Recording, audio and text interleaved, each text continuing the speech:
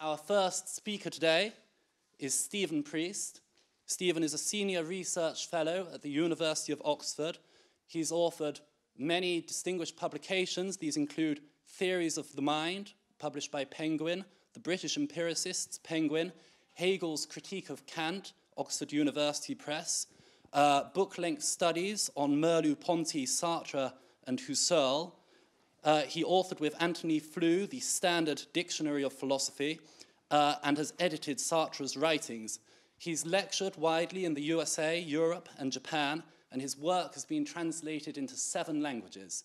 Today, Stephen is going to talk to us on the topic Who are you? So please give him a very warm welcome.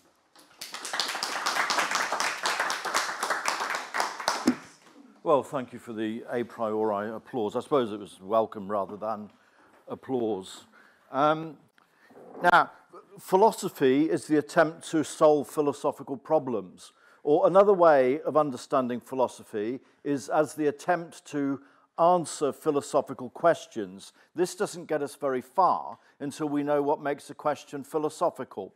What makes a question philosophical is that we have no method for answering it. What makes a problem philosophical is that we have no kind of method for answering it. So it's not enough that we don't have the answers to questions to make those questions philosophical. We don't know what type of investigation or what type of thought will provide the answer to the question. That's what makes the questions philosophical. Philosophical questions have nothing in common with regard to subject matter.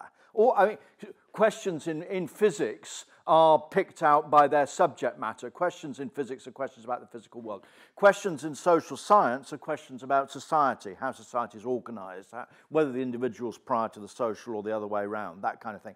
But philosophical questions are not united by any common, uh, any common, any common subject matter. For example, do numbers exist? If so, what are numbers? Was there a first event? Uh, is there life after death? what is the relationship between consciousness and the brain. They're, they're, they're disparate with regard to subject matter. Now, any given philosophical question is logically related to other philosophical questions, so it's hard to, uh, so to speak, select out one philosophical question for scrutiny. Um, this is partly because solving one kind of problem is frequently prerequisite to solving another, or thinking up a method of problem solving for one is prerequisite for thinking up problem solving for another. It's partly to do with that, but it's partly also because problems come in clusters or groups. Now, I'll say something about um, the self. Um, the hardest part of doing philosophy is not thinking up the methods for answering the questions. The hardest part is understanding the questions themselves. Because understanding philosophical questions, by and large, requires having thoughts you've not had before or noticing things that you've not noticed before. Now, in order to understand philosophical questions about the self, it's important to notice your own existence. You have to notice your own existence. Now, this is terribly difficult to do because the obstacle in the way of noticing your own existence is that you think you've already done it or you think you're already doing it. You're, I assure you, you're not. And what I'm going to say is going to make you notice your own existence. Now, the, now, the first thing to note is that clearly there are, will be, and have been billions of human beings uh, on, on the planet.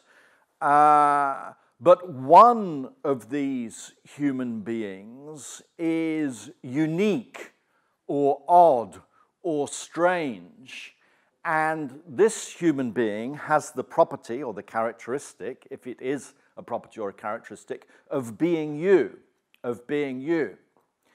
Now, what this means is that you are, so to speak, centered on this human being, or perhaps you are identical with this human being, or you view the world from this human being, or you are where this human being is, or you coincide with this human being, or you look out of the eyes of this human being. Now, this is not the case with any other human being, uh, whether in ancient Greece or in prehistoric times, or in thousands of years in the future, or in China or in the US today. There's something it consists in for you to be this particular one, or for you to be very, very closely associated with this particular one. And any human being that is not this one, that is not you or not uh, yours, is, if encountered at all, encountered at some distance as other, as over there, as a discriminable item within the env- environment that you actually pervade or occupy or uh, are at the center of. Now, if you notice this uh, fact, if you notice this fact, you should be absolutely flabbergasted by it. You should be absolutely staggered by it. That out of all the human beings that there are, uh, one of them is you, if is is the right uh, turn, of, turn of phrase here. Just one of the human beings is, so to speak, enormously distorted, or perhaps inside out, or outside in and your consciousness uh, is all around it or inside it or, or pervades it. Now, that's, that's the problem, that's the question. Quite a lot of work was done fairly early on in phenomenology, very useful work, uh, in describing the asymmetries between your being a human being and your observing any of the ones that you're not. So, for example, if you read, um, if you read uh, uh, Sartre's, Sartre's 1943 book, L'être et le néant, there's a chapter called Le Corps, where Sartre describes these asymmetries between your own body and somebody else's body. And there's a similar chapter also called Le Corps in Merleau-Ponty's 1945 work, Phenomenologie de la perception. And for, exa- for example, you've never seen your own face. You've only ever seen somebody else's face. All the faces that you've seen are the faces of other people. Now, of course, because of the way we're brought up and because of the way we've been socialized and educated, we, we, we think, well, you, you could see your face in the mirror. Now, that's, that's a habit of thought that rushes in which shows that you've missed the point. The point is, you don't need a mirror to see anybody else's face. So the fact that you need a mirror to see your own face is, in a way, ir- ir- irrelevant or besides the point. You've never seen your own eyes. You look through just one pair of eyes and you look at any other pairs of eyes that there are. This is extremely unusual. This is a one off situation. This is symptomatic of being you or being one of these things.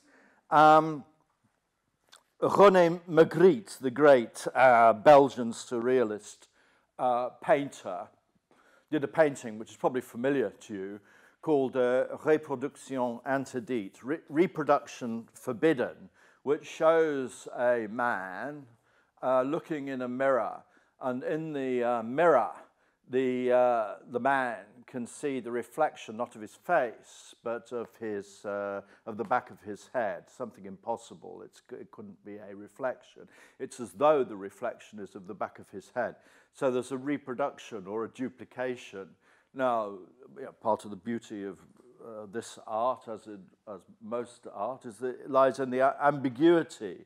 But one way of understanding the painting is to say that reproduction is uh, is uh, forbidden, because nobody else can be you. Nobody else is identical with you. We want to know why reproduction is forbidden in this case. And the obstacle, the obstacle to reproduction consists in your being this human being, or your being whatever it is you are, as opposed to your observing whatever it is you are, or being an object of your observation. Now, um, there are various ways in which we can bring out this problem or try to study this problem uh, further. Obviously, there are many empirical differences between people. People are different weights and sizes and ages. Everybody has a, a, a unique genetic makeup. Everybody's socialized in a different kind of way. Everyone's born in a different place. Everyone has a different kind of uh, uh, education to some degree or other. Everybody's neurological uh, state differs from anybody else's from moment to moment. We have a very large number, possibly an infinite number of qualitative differences between uh, people. Now, I'm fully aware of that. I'm fully aware of that. What I'm saying is that all these familiar facts are facts which make that human being exactly the way it is, make the human being exactly the way it is. Um, they do nothing to explain why that human being is you. Once all these psychological facts are in, once all the neurological facts are known, we haven't begun to explain why you view the world from this human being, why you are centered on this human being. We haven't started to do that. We haven't even broached that issue. Now, um, to try to bring out the problem further, su suppose for a moment, just for a moment, that everybody uh, looked the same. I mean, supposing everybody looked just like you. Course, they do not. I know they do not. But in principle, it's theoretically possible that everybody looks exactly like you same age, same appearance, everything. Everybody looks exactly like you. Now, if you woke up one morning, this would be surprising, no, no doubt disturbing. Um, as you walk around St. Giles, you see everybody looks like you, everybody's dressed like you. Now, uh, everybody's neurological state is the same, or as, as, as, same as is consistent with occupying different parts of St. Giles, right? Now, now in, this, in, in this situation, I maintain there would be no mix-up on your part about who was you and, and, who, and who, the, who, the, who the others uh, were. You would know which one of these identical, qualitatively identical beings is you. You would know which human being is yours or which human being is you. You wouldn't, you wouldn't think, oh my goodness, everybody uh, looks like me. I wonder which one I am. I wonder which one on earth I am. Goodness me, where can I find me in all this?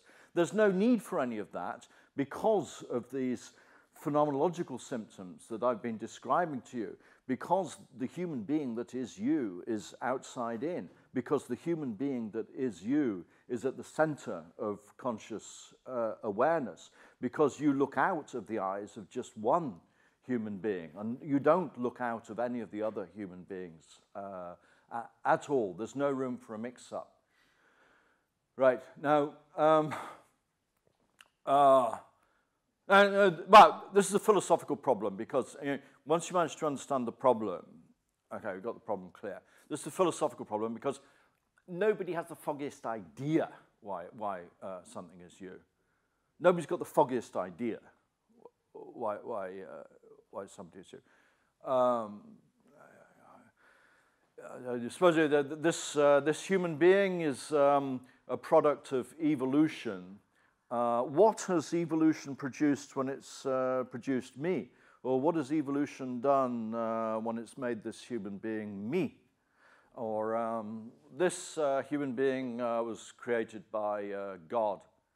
what has God achieved, if God has achievements? What has God done when he's made this human being me? It's completely obscure. We, do, we don't know. But so it's a, it's, a, it's, it's a profoundly obscure and, and uh, difficult fact to explain. But of course, it, it's, it's not just one we live in uh, fr from day to day, it's the fact that we are uh, from, uh, from day to day. I have to, uh, there's a lot that can be said about it. I'll try and cut it short um, a bit. Yeah, uh, well, if we say, um, if we entertain the supposition that all the human beings are identical or look the same, supposing we filmed uh, St. Giles, uh, from this anonymous standpoint or from the sky, you would not be able to tell which one was uh, you. I mean, you could say, well, I know because I remember I, you know, I came out of Blackfriars at that moment or something. There could be some empirical cue. But there's nothing in the appearance or the characteristics of the human beings that allows you to conclude that one of them is you. Now, for this sort of reason, I think that whatever being you is, it's not any physical fact and it's not actually any psychological fact either. Whatever being you consists in, it's nothing physical and it's nothing mental. Um, now, you can say that's not right because you have a body, obviously, and you have a mind which admits of states of consciousness, obviously. I'm not denying uh, very clear and obvious uh, facts like that. What I'm saying is that these are not exactly what it consists in to be you. We're after what this missing element or ingredient is uh, that makes something you.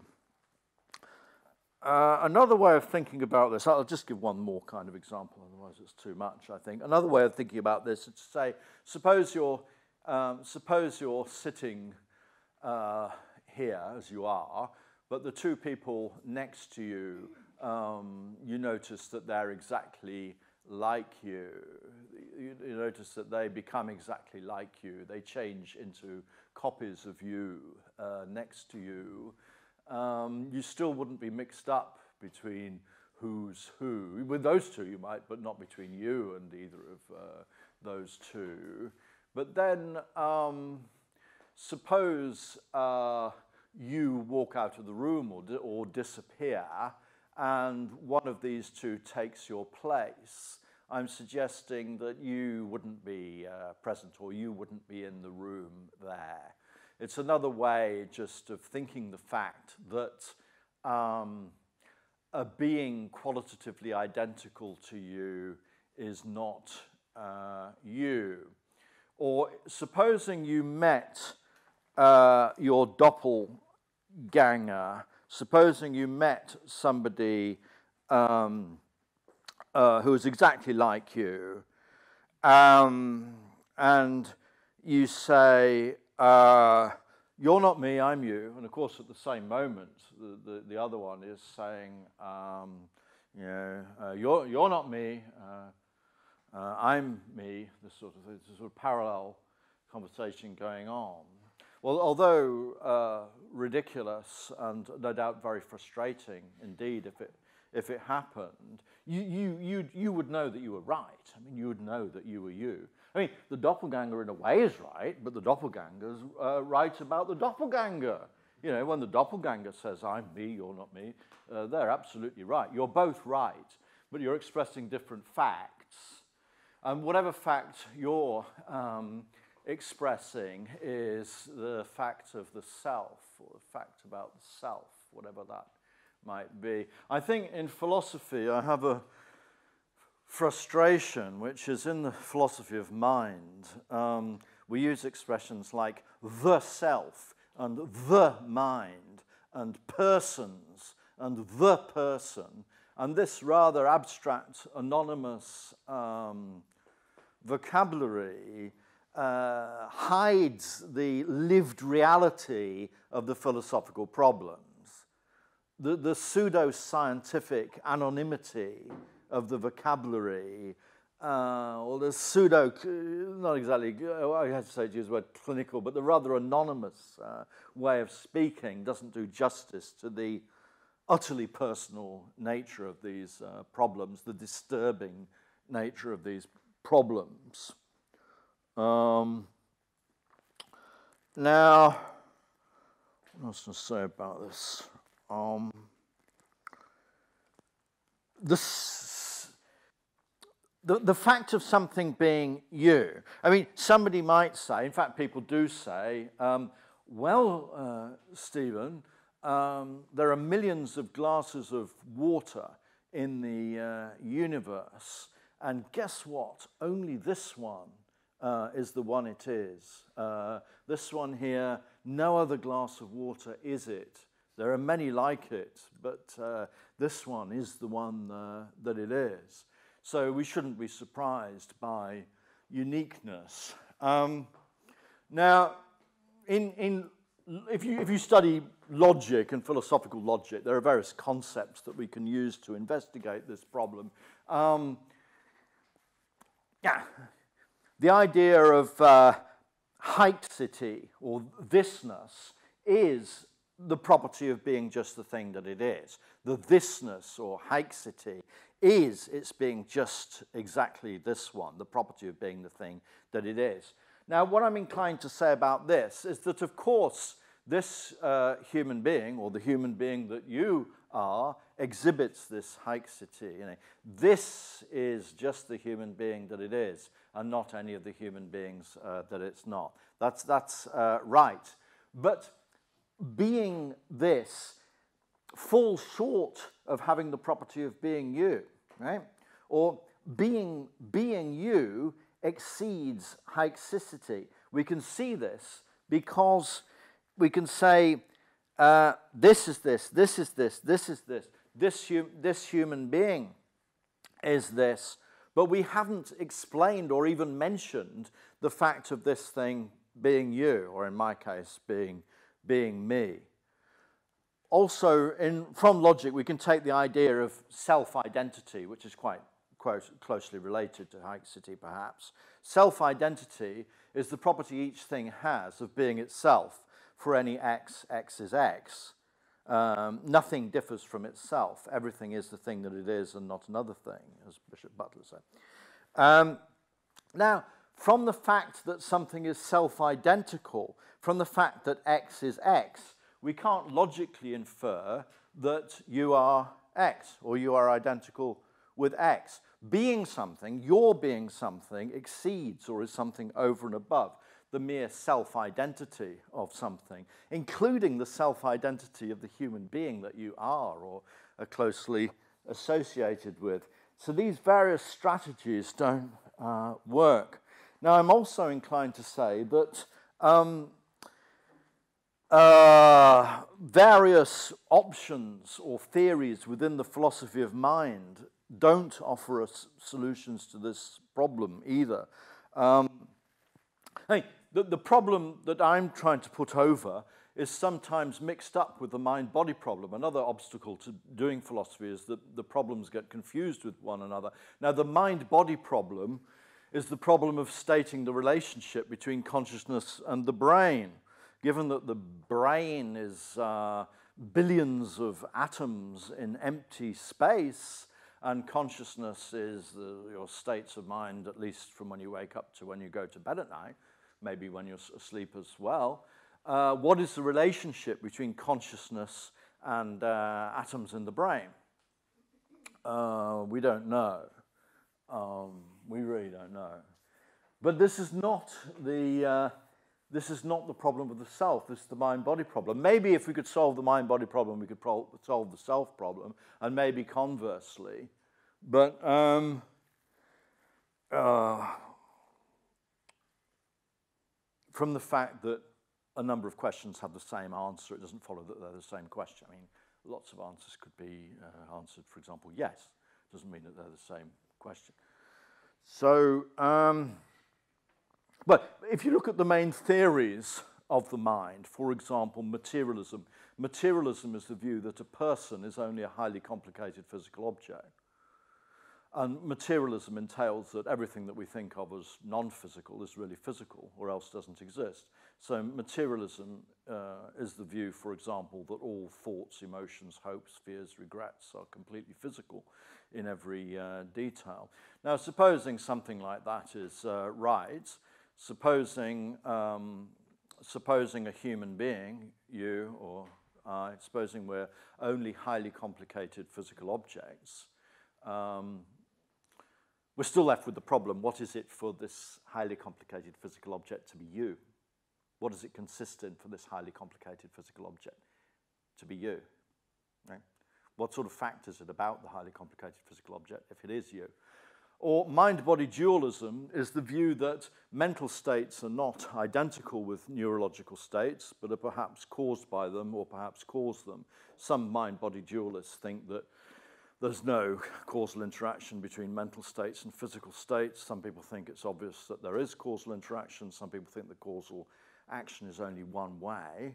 Either mental states cause physical states, or physical states cause uh, mental uh, states. But all these uh, dualists have in common uh, the view that nothing mental is physical and nothing physical is mental. In other words, if A and B are causally related, they're not identical. Um, uh, but supposing um, on this, as on this dualist view, you have uh, states of consciousness as well as neurological states, perhaps with causal relations between them.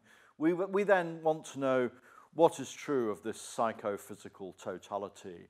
If you are it, um, what is it for you to be centered on it, or for you to be it, or for you to pervade it, or for you to be in it, or for it to be in you, whatever the relationship is between you and this uh, psychophysical constellation.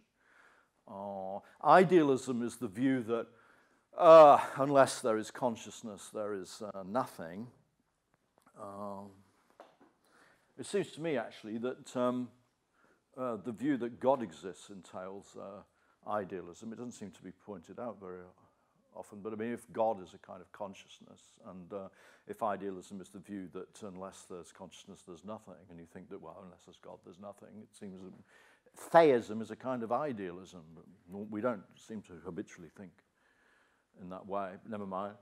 Um, but supposing you are a consciousness contingently related to this body, maybe you have a body the way you have a motor car if you have a motor car. Um, supposing um, the body just depends on consciousness at some level very strongly. We want to know what's true of this consciousness if you are it. Now, you might say, um, you inhabit this consciousness, or this consciousness has an interiority, um, or consciousness can be understood as an inside without an outside. They might say, well, an inside without an outside, what on, earth, what on earth is one of those? But the phenomenology of one's own consciousness, it seems to me, is rather like that. One's presented with what we could call an interiority, as though one is um, the inside of the world or at the inside of the world, and everything else is presented to, uh, to one. And yet there's no clear uh, outside to your consciousness in the way that there's an outside to a glass of water. Uh, there are other theories of the mind. For example, um, neutral monism is the theory. I sorry, apologize for terminology, but neutral monism is the theory that mental and physical are two aspects of some underlying reality, which is intrinsically neither mental nor physical. Well, You could tell what I'm going to say about that. Now, um, th this problem of the self uh, can be approached in an entirely different way, and that is to do with uh, now. There are philosophical questions about now. Um, when is it now? Um, how long has it been now for now? Uh, is it always now? Is it never now? Um, is the now constantly changing?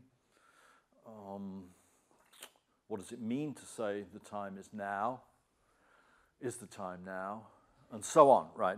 As I say, problems come in clusters. Now, there are lots of ways of thinking about now in philosophy. Um, but there are a, a, couple of competing views which are relevant uh, here.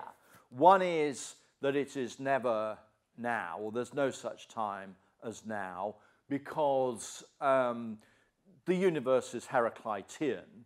There's so much change that uh, what, what happens doesn't endure long enough to be rightly called now, roughly speaking, I suppose. So it's never now.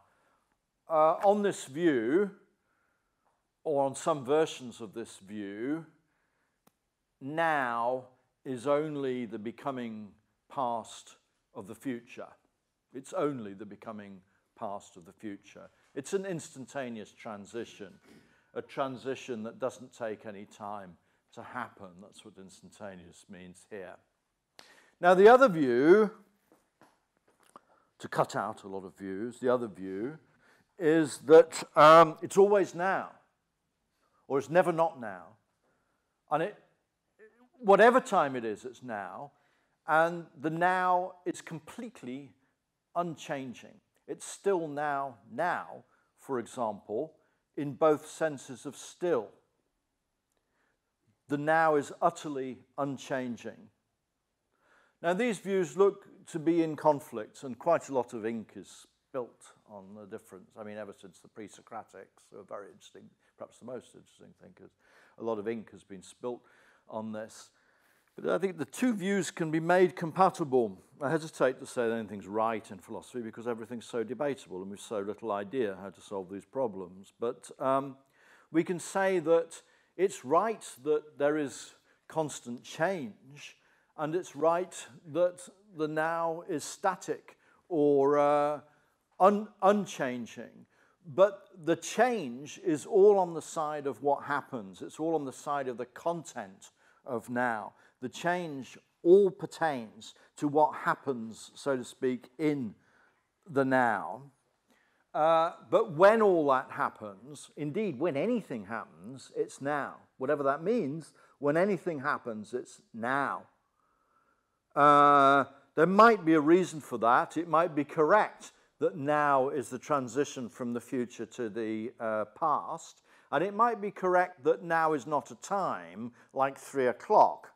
I mean, it's hard enough to say what it consists in for it to be three o'clock, because three o'clock is an instant.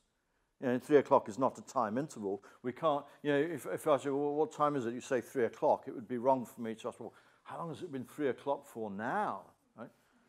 It's not a time interval. It's not a, it's, not a, it's not a duration. Well, it would be even harder to try to construe now on that model. Yet, in some way, whenever anything happens, it's now. If you start saying, well, no, no, some things happen in the, in the past and the future, you mean something different. You mean it did happen, and I maintain when it did happen, it was now. And it will happen, and I maintain that when it does happen, it's, it's uh, now. But, but in, in, a way, uh, in a way, the universe is very small. There's only now. And for something to happen is for it to occur in the now, in the unchanging now. Now you might say, well, why, why is all, what's all this about now? How does this bear on um, what it is to be you? Well, the funny thing about now is that one meaning of now seems to be uh, when I am. One meaning of the word now seems to be when I am. Or perhaps while I'm speaking, or while I'm saying this, or while I'm thinking, uh, or simultaneous with my utterances, or, or something, something like that. So there's, a, there's some kind of tie between its being now and something's being uh, you. That's a rather linguistic point, I suppose. I could put the same point um, in a different way. Suppose now is when you are. Arguably, now is when you are, because, I mean, you know, in 1066, William the Conqueror arrives on the beach and he says, uh, Right, now we're going to attack the Saxons. Uh, right, right. So to speak, now for William the Conqueror, as opposed to now for you. But you know, now for you as well, now we're listening to what priest thinks about all, all this, right? Or people in the, in the, in the future, they will think, oh, well, now we've got uh, even more technology or something, whatever they do have. Right? Okay, so it looks as though, looked at in this way, now looks tagged to the individual, or tagged to consciousness, or tagged to uh, a time, which in each case is somebody's uh, own. Now, there's something very odd about this. There's something very odd indeed about this. It means that if now is when you are, if now is when you are, then you personally, you personally divide the future from the past. You personally divide the future from the past. The now is the, div- the division between the future and the past. But now is when you are, so you personally divide the future from the past. Now, we could ask, why on earth should you personally be invested with such massive cosmic uh, significance? How, how on earth can this be the case? How could it be the case that the whole of future time is after you and the whole of history is before you? Why should, why should that be the case? Now, I have to say, we've absolutely no idea. We've absolutely uh, no idea why you demarcate the past from the future. Now, of course, one's inclined to think, um, well, Stephen, there was a big bang and uh, 13 and a half billion years have elapsed, and um, this is as far as the universe has got. This is as far as the universe has got. It's just got to, uh, got to you. That's all right, but to my mind, that's a bit too much of a cosmic uh, coincidence, really. Uh, the universe has elapsed or occurred up to the point when you personally exist. Besides, um, when William the Conqueror was saying, now we're going to attack the Saxons, the, the universe had only got to that uh, point. And uh, so, for any point in the future, the past, uh, for any person, there's such a thing as the universe reaching that point, reaching that point. But the universe seems to have reached this point now. So, what is it for the universe to re- reach this point now, over and above, or as opposed to just reaching some arbitrary point? I mean, the universe reaches all the points, right, that it, that it, that it passes through. So, what, what is it for it to reach this point now? This point now? Again, we've got, we've got no idea. We've got no idea. We've got no idea. But somehow it's tied with your um, existence. Um, I don't know whether you want to leave some time for questions. You were thinking of leaving 15 minutes Yeah, okay. Of course, yeah. Now, all right then. Five more minutes. Okay. Or seven, whatever. Okay. Um, we have to be so careful.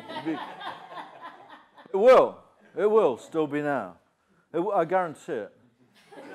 Well, there might be a problem about death. I'm not very healthy. I mean, I don't. That's, that was another. another we'll do death another time. That's even worse. Uh, that's disturbingly tied to what we're talking about today. Um, was I going to say? Yeah, now, one thing that strikes me about these questions is that we don't normally pose them, or we don't usually think of them, or they don't occur to us. They do not tend to occur to us, except in moments when we might try to write um, poetry, like Gary Smallman, or in moments of mystical experience or artistic insights. We have these glimpses. But normally, we don't pose these philosophical problems in the stark way that I've posed these two. Now, the question is, well, why not? Well, eh, most of us you know, spend decades trying to earn a living and we've got better things to do with our time and do, you know, sort of try to bring up children, all this sort of thing.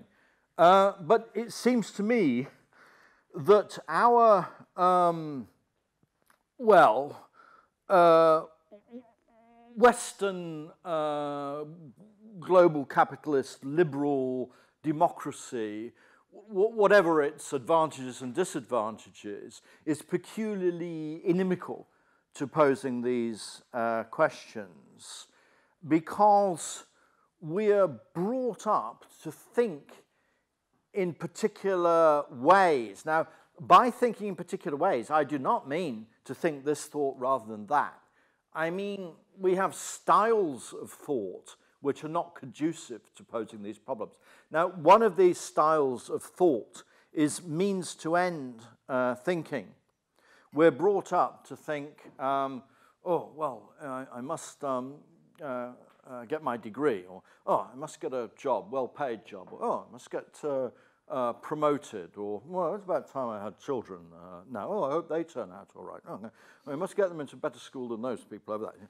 All, all, all, all, all this sort of thing. Now, all this is future orientated or goal uh, orientated. You're, one is brought up to be focused on the next, uh, the next prize, the next bottle of wine or decent cigar, or all this sort of focused behavior, this means to end thinking, is going the wrong way for being brought up sharply with the reality of your own existence here and now. To understand this problem of the self and the problem about now, you have to be brought up sharply with your own being uh, now.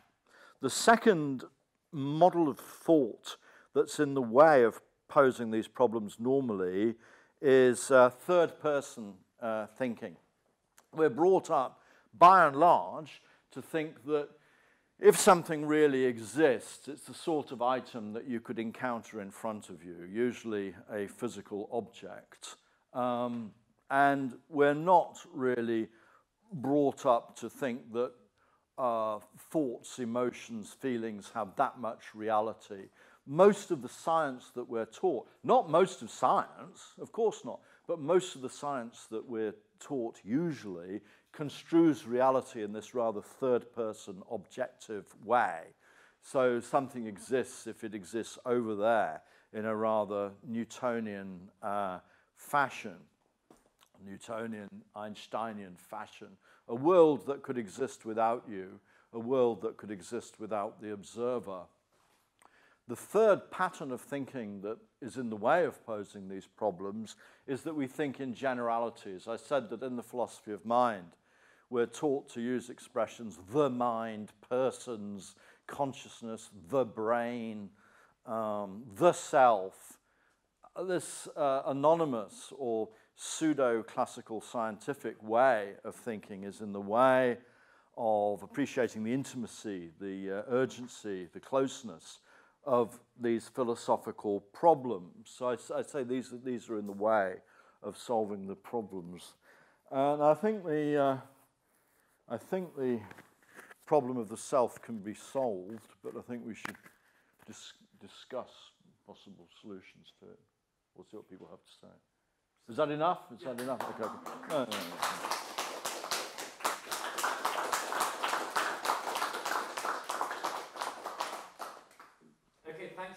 Stephen, for this talk. Uh, as I say, we have about 15 minutes for questions. Uh, and uh, when you ask a question, if you just wait for Mikołaj to bring the microphone to you so it'll be captured on our audio recording equipment. And just raise your hand if you have a question. And if there's none to begin with, uh, well, okay, Mikołaj can start with one. Go ahead. I can start using the privilege of uh, holding the microphone.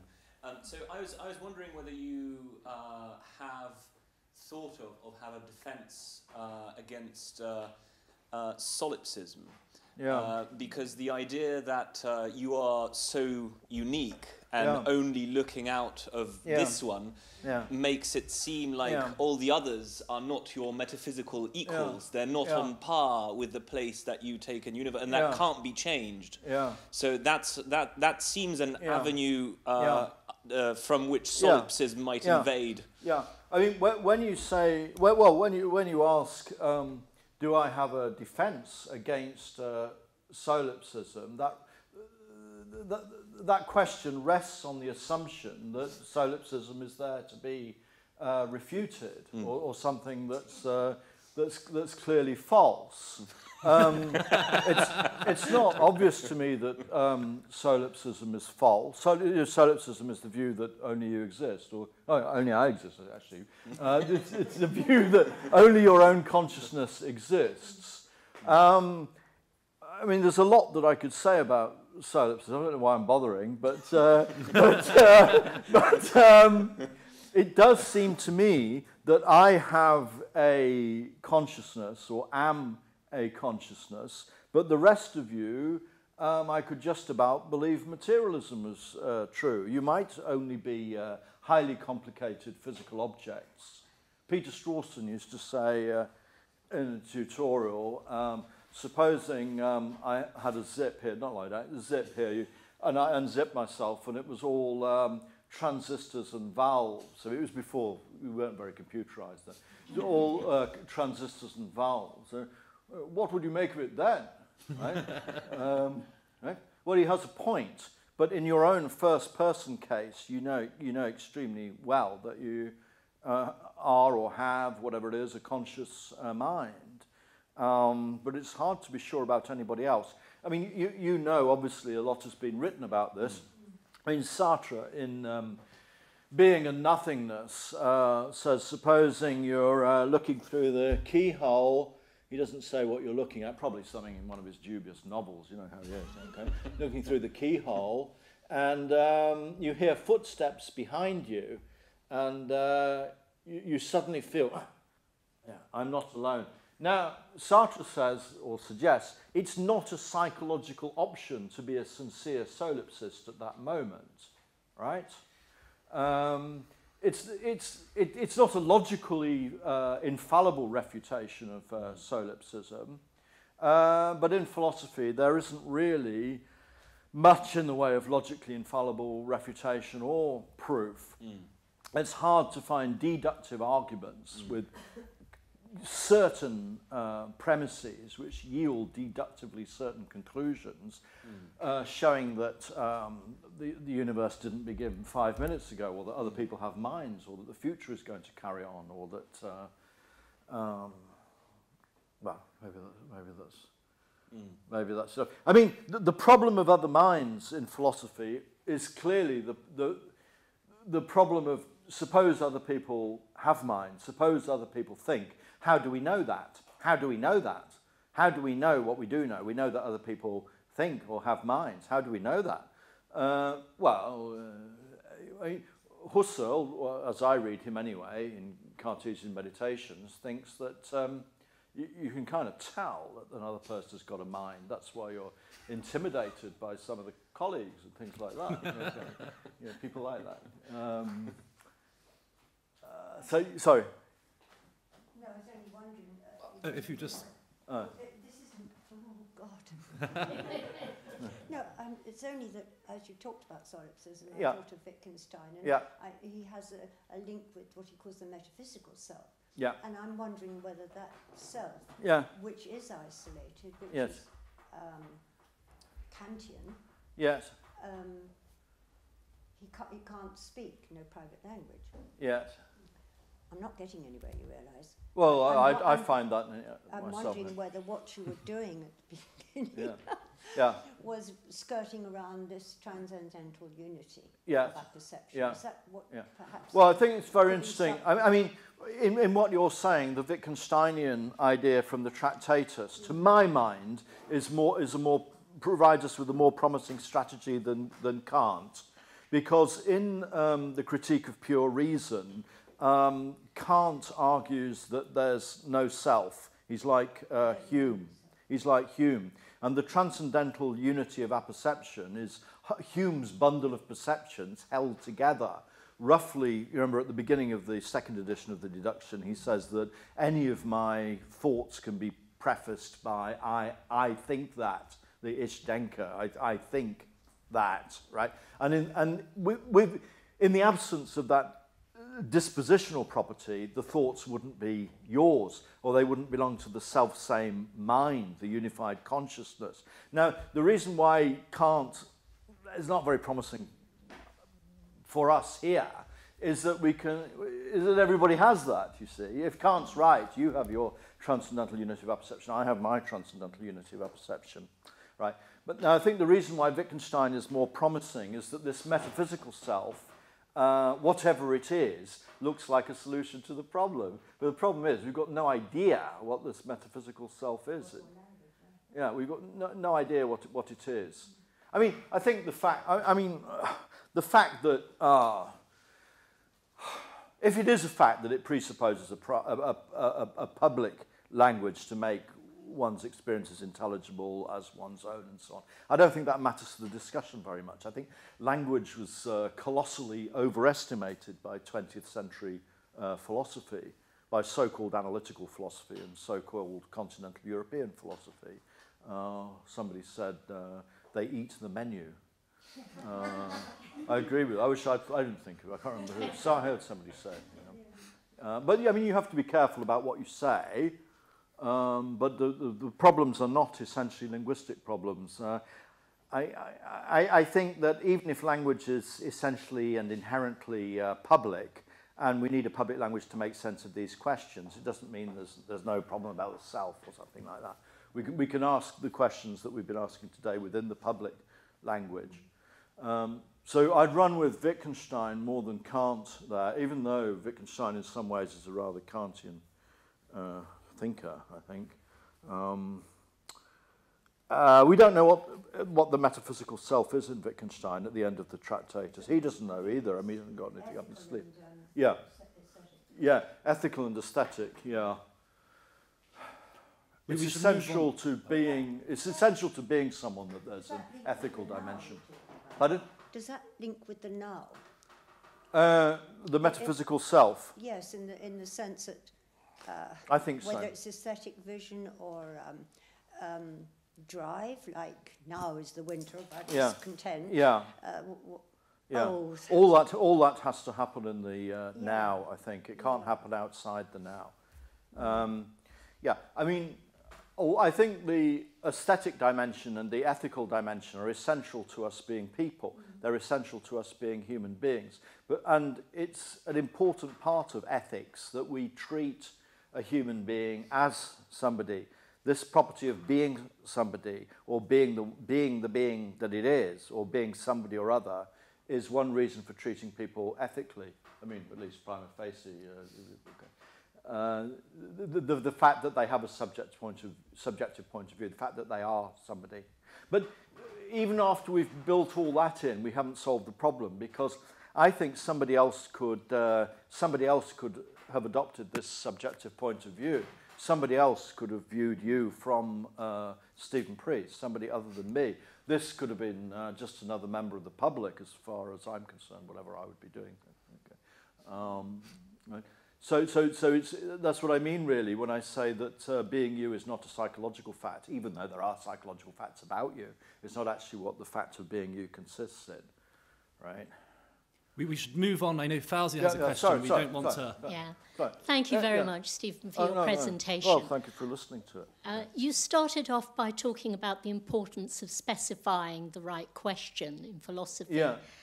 And so I'm just wondering why we should think that this problem of the self, yeah. uh, the nature of the self, is the correct question in some way to, to specify what makes the question interesting other than from a personal point of view.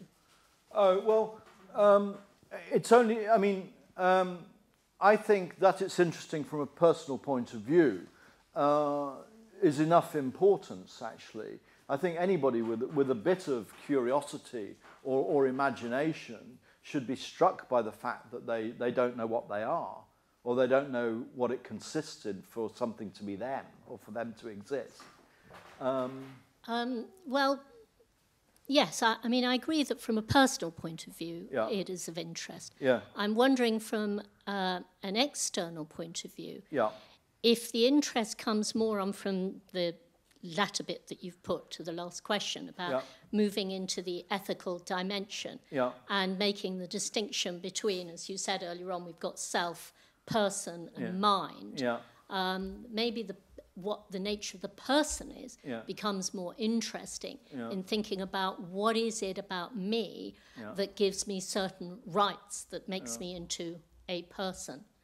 So. Oh well, no, I think I think um, I I think those. Uh, issues to do with ethics and the person, and the conference is about the self. That's the only reason. We could have had a different conference about ethics and the person. Um, We yeah, actually, I mean, I suppose, I suppose I think about ethics. Uh, I don't think utilitarianism is an adequate uh, account, provides us with an adequate account of uh, uh, distinctions between right and wrong. But I think the utilitarians, whether they realize it or not, hit upon an, a necessary condition for the ethical. In other words, if there was a universe just like this one, a possible world, in which there was no pain, I don't think there'd be any moral distinctions. So utilitarianism provides us with a prerequisite for there being uh, such a thing as ethics. Without pain, there's no ethics, I think. But they're completely wrong to think that there could be utilitarian, uh, fine-grained accounts of courage and cowardice and uh, that, that sort of thing. That's what I think about the ethics. But I think the ethics gets off the ground once we have uh, pain. Um, there's a question of what the relationship is between pain and this problem of the self, of what it consists in to be somebody. I mean, it, I don't know whether there could be a, a Humean or a Buddhist no self world in which there are, so to speak, patches of pain but no feeler of the pain. You know, oh, it's painful here. Oh, it's very painful today. Um, a bit like the weather. Um, you know, bad weather could be terrible, right? Uh, or whether if there's pain, there's essentially a feeler of it. That any pain is your pain or my pain. Then we're back to today's uh, question. Uh, but the, the question isn't essentially ethical. I mean, J.L. Austin uh, was asked, well, what's the importance of these questions, uh, Mr. Austin? And he said, um, importance isn't important, truth is. yeah. Um, I wouldn't but, go. But, yes. but, but, maybe the issue yeah. of the self becomes important yes. in just what you've said about utilitarianism. Yeah, because you, I think it's yeah. a reason why utilitarianism yeah. fails in that it doesn't pay enough no, attention. That's right. No, that's right. That's one of the objections to. It's one of the objections to utilitarianism. That's absolutely right. Paradoxically, um, the existence of the self, in some sense, might be an entailment of utilitarianism because it's presupposed by uh, pain. This gentleman here. Yeah. Thanks. I'm wondrous about the connection between the you, the here, the now, yeah. and how it behaves with relation to others. Yeah, um, I don't know about the relationship to others, but um, the relationship to each other, I'm inclined to say that they're the same, that here, now, and you are the same. Uh, but of course, here can't be some empirically fluctuating uh, location in space, and now can't be some empirically fluctuating location in time. To put it crudely, you'd have to carry your here and your now around with you. Um, but more towards how does it interact or respond to an in, to, to another you, which is. I, I don't know how that's done, uh, actually. I don't know how that's uh, done. It's a bit like Mikołaj's question about uh, solipsism. It seems very curious that we're able to communicate, that we're able to understand uh, one another, but we don't know very much about what meaning is in language. Obviously, an enormous amount of ink has been spilt on sense and reference and so on, but we don't know what uh, we don't know what referring is. I mean, I mean, as a rough stab at communication, I'm inclined to think that the later Wittgenstein and John Locke each has 50% of a theory of meaning, and that uh, Locke underestimates the uh, public rule following that the later Wittgenstein describes, and Wittgenstein underestimates the role of psychology, especially psychology of imagination and sensation in accounting for meaning. But if you were to fuse Locke and Wittgenstein together, you might begin to have a decent theory of meaning. But it's very, very uh, hard. It's very, very hard. It's very hard. I mean, if I say, um, this is a cup of coffee here, really we've got no idea what the relationship is between those sounds and this cup of coffee. We haven't got the foggiest idea. Um, or if I say, um, you know, I don't know, uh, I believe that um, I believe that there's a, a, a, cottage in Devon next to the woods and there's a stream uh, by it Um, you know, I swear to you, it's absolutely true. I completely believe this. Um, I'm absolutely convinced. It doesn't follow that I believe it at all. Right? I believe it at all. Not, not at all. You know, I just made it up. Right? So we, we've got very little idea of how all this works, despite all the cog sci, all the Wittgenstein, and all this. We don't know how it works. I think we might have time for, for one more question, and then there might be a bit of time for discussion later in the day as well, though. So if there are burning questions, you might get a chance yes, later. My question is could we seriously doubt, could I seriously doubt that I am me? That's a really good question. Sorry, the others were very good as well. But that's a very, very, very good question. I mean, academics say that was a good question. They don't really know what to do, uh, how to uh, answer it. Um, ah, um, I, I think that Hume uh, and, uh, and Buddhists, except for a few Buddhists, um, think that there's no self. So Hume um, introspects and he says, well, you know, there's an idea here, an impression here, sensations and ideas and so on, but there's no single impression which could give rise to this idea of self that people have. He's an extreme empiricist in a way, so there are only sensations which arise and subside. There's no, there's no self.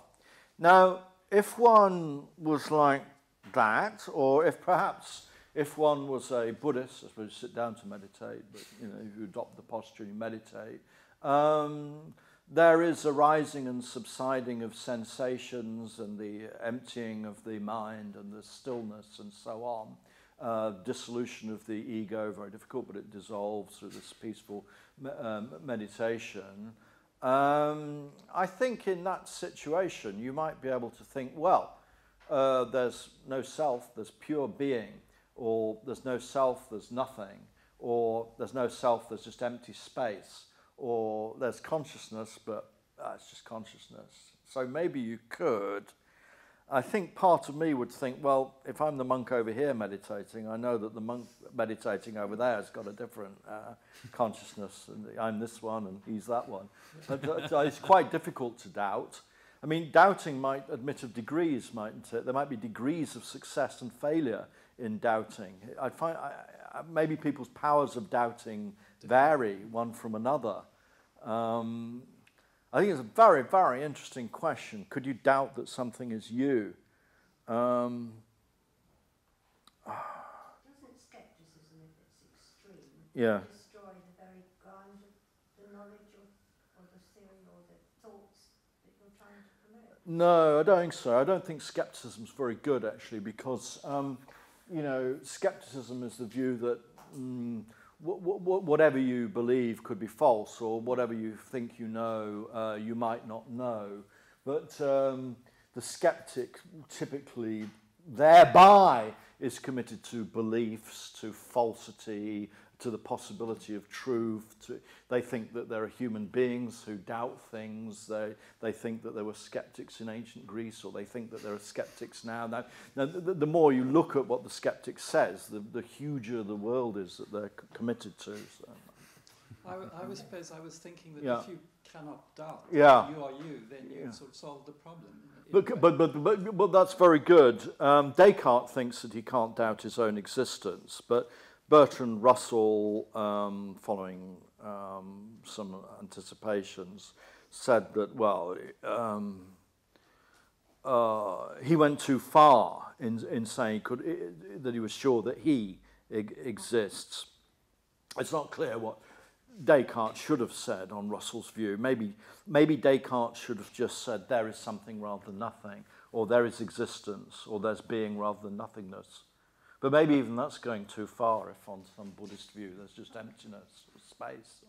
Or perhaps emptiness and space are not nothing, but they, they seem to be approaching uh, nothing.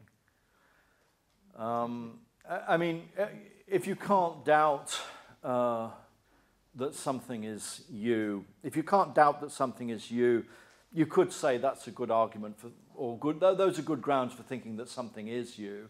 But purely logically, it doesn't follow that you exist from your inability to doubt that you exist. You might you be wrong. Yeah, yeah, that's right. I mean, one of the annoying things about uh, logic is that um, really, from the fact that you can't doubt that something's the case, it doesn't follow that it is the case.